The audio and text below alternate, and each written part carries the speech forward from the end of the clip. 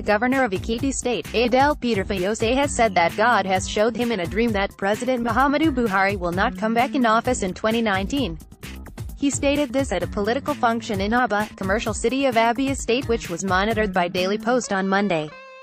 Fayose recalled that he warned Nigerians of a dream he earlier had that Buhari will not perform in office as president.